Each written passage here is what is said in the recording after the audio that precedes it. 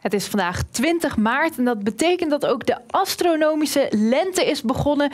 Dus ik heb een lenteachtig plaatje meegenomen, maar wel met een grijze lucht op de achtergrond. We zien hier lege terrassen en die gaan ook de komende dagen nog vaak leeg blijven, want het is eerder een beetje herfstachtig dan lenteachtig te noemen.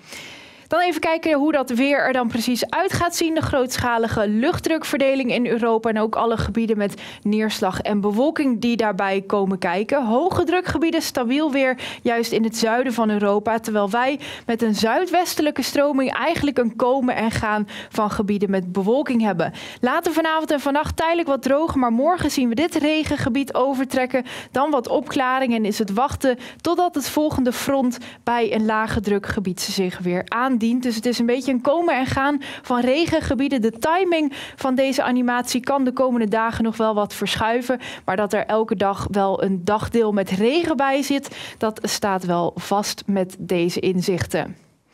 Vanavond dan is het tijdelijk wat droger. De regen die trekt een beetje weg naar het oosten van het land. Maar ook uit die wolkendeken blijft nog wel wat lichte regen of motregen mogelijk. Stevige zuidwestenwind daarbij 8 tot 10 graden.